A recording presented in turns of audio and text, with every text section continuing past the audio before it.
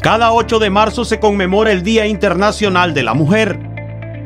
Esto en reconocimiento a la lucha de las mujeres por su participación en la sociedad y su desarrollo íntegro en pie de la igualdad. Nicaragua tiene rostro de mujer y sus derechos están debidamente tutelados por el gobierno sandinista y las instituciones del Estado.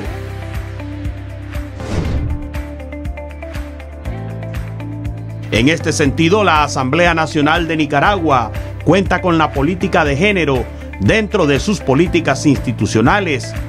esto como un instrumento clave para legislar con un enfoque de igualdad y equidad de género y contribuir a la eliminación de los obstáculos que impidan la participación efectiva de mujeres y hombres en la vida política, económica y social del país. Vamos trabajando, ¿verdad? Eh, cómo nuestras leyes aportan, contribuyen desde el punto de vista regulatorio a todas esas políticas de Estado, a todos los programas de gobierno que han ido dirigidos a fortalecer el protagonismo femenino, pero también desde la política generacional vamos cuidando que esta restitución de derechos desde nuestras leyes vaya dirigida a las niñas, a las adolescentes, ¿verdad? A todo el ciclo de vida de la mujer nicaragüense, sin descuidar un solo eslabón, es decir, desde la niñez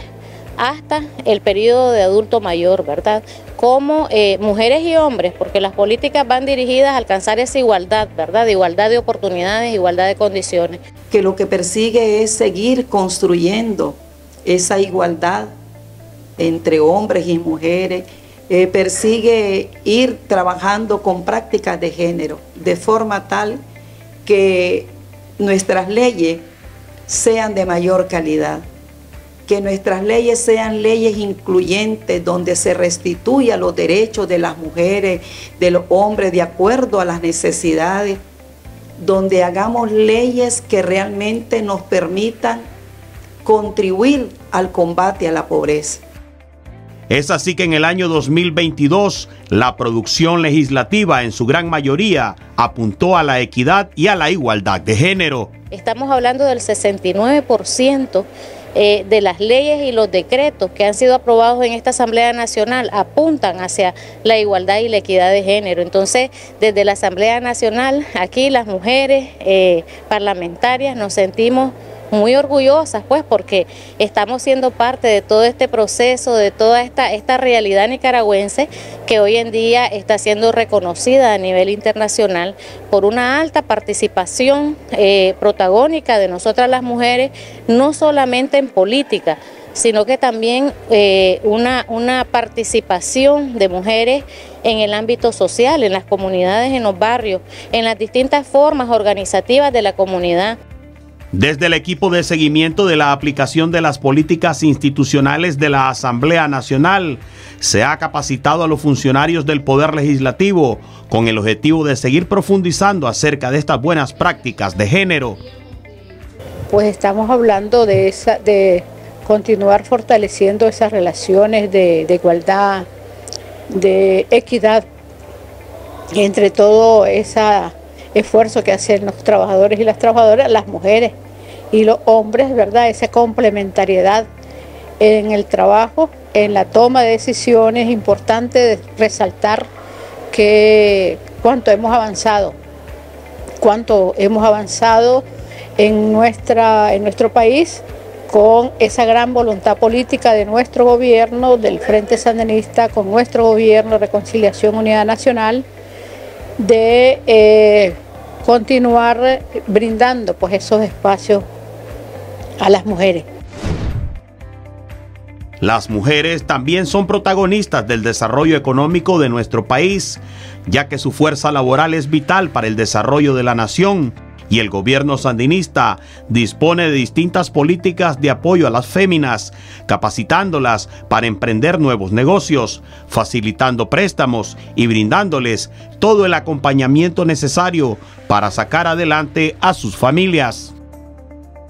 porque han aportado tanto, tanto a la economía, trabajando en los diferentes espacios, ya políticos, sociales, económicos, y por eso es que en Nicaragua las mujeres tenemos un porcentaje alto ¿verdad? Eh, de inserción laboral, ¿ya? Además, hay leyes que nos protegen, ¿verdad? La ley de 50-50 y hemos trascendido,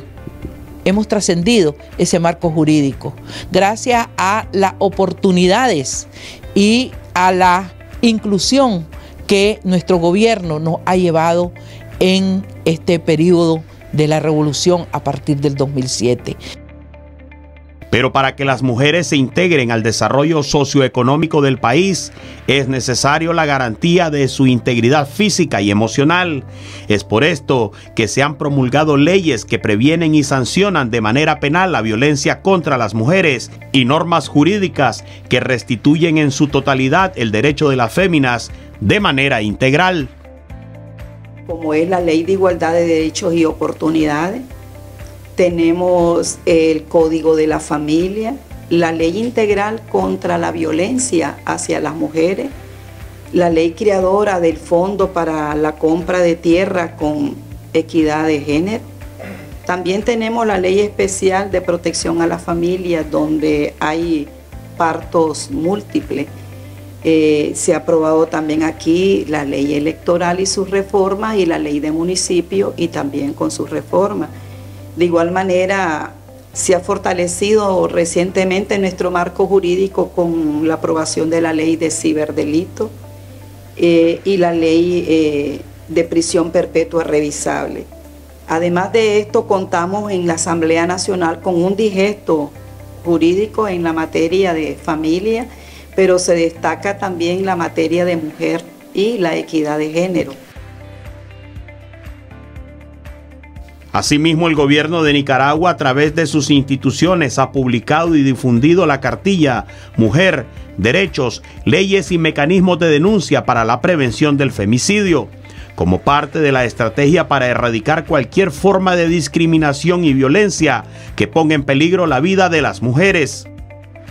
Semanalmente se inauguran comisarías de la mujer para resguardar su integridad física y emocional pues estamos abordando temas de prevención de violencia contra mujeres, niños, adultos mayores y también previniendo el abuso sexual contra niñas y niños. Son parte de los contenidos de todas nuestras cartillas, fomentando la unidad, los valores, eh, las relaciones complementarias, así como la responsabilidad compartida de mujeres y hombres al frente de su familia, al frente de la comunidad.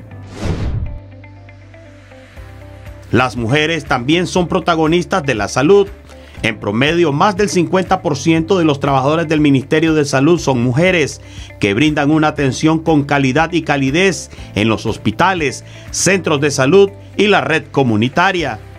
Nuestras mujeres trabajadoras de la salud ocupan aproximadamente el 68.9 de esos cargos y los varones prácticamente un 31.1 y es muy importante el desarrollo y la capacidad que nuestras mujeres han alcanzado en el Ministerio de Salud en todo ese proceso de capacitación que se ha venido desarrollando desde el punto de vista técnico, profesional, donde tenemos enfermeras, tenemos médicos, tenemos médicos generales, especialistas, subespecialistas. Y esa posibilidad de poder irse especializando para garantizar una mejor atención es muy importante. Dentro de estos aspectos gerenciales hemos estado asegurando el desarrollo de residencias eh, para la parte de servicios de salud y epidemiología, donde las mujeres juegan un rol muy importante. A nivel de las 19 sedes de SILAI, el porcentaje de mujeres se establece en un 63.9% y de los varones 36.1%. Aquí las mujeres continuamos teniendo un peso porcentual importante